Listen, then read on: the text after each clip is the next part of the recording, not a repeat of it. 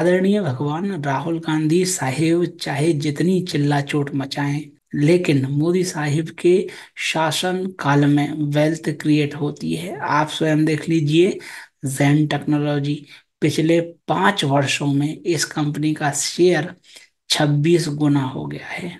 और इसके बावजूद नोवामा की रिपोर्ट आई है, जिसमें कहा जा रहा है कि जैन टेक्नोलॉजी का शेयर अभी सत्तर फ़ीसदी और चढ़ सकता है। तो कारण उसका यह है कि जैन टेक्नोलॉजी का जो प्रोडक्ट है, जो सिमुलेटर्स जैन टेक्नोलॉजी बनाता है, वो बड़े कमाल के हैं। दरअसल पहले केवल हवाई जहाज़ के सिमुलेटर्स हुआ करते थे, लेकिन आज की डेट में सिमुलेटर हर चीज़ का है। बंदूक चलाने से लेकर टैंक को ऑपरेट करने तक का काम सब चीज़ें सिमुलेटर के माध्यम से ही सिखाई जाती हैं। और ये ऐतिहासिक सत्य है।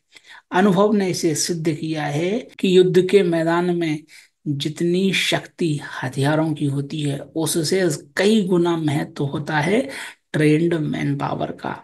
तो भारतीय सैन्य बलों को ट्रेनिंग देने में सहयोग प्रदान करने वाले प्रोडक्ट्स बनाती है जैन टेक्नोलॉजी बहुत ज़रूरी है। देखिए इसके जब प्रोडक्ट बिकते हैं तो अखबारों में खबर नहीं छपती, लेकिन इसी के प्रोडक्ट इसी कंपनी के प्रोडक्ट सुनिश्चित करते हैं कि भविष्य में आने वाले युद्ध को हम जीतें और न सिर्फ़ सिमुलेटर बल्कि ये कंपनी एंटी ड्रोन सिस्टम भी बनाती है।